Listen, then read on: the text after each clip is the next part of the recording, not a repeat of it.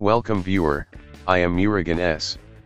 This video tutorial describes, fix internet connection sharing not working.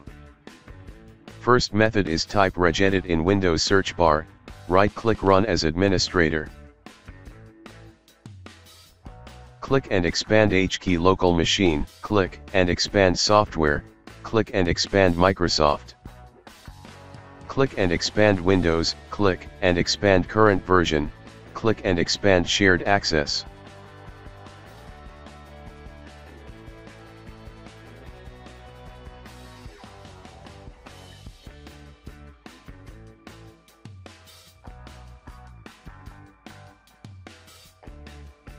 Right-click New DWORD 32-bit value. Type Enable Reboot Persist Connection.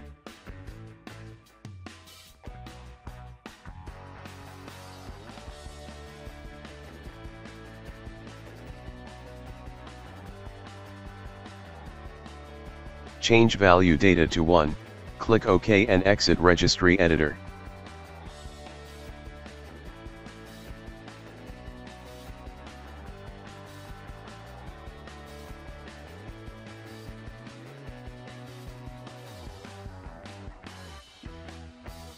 Second method is type services in Windows search bar, click services.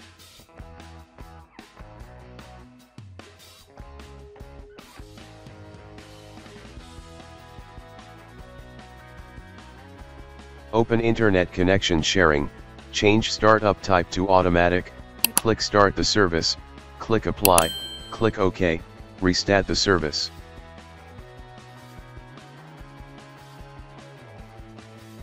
I hope this video tutorial helps to you, please like, share and don't forget to subscribe my channel, thank you very much, see you next video.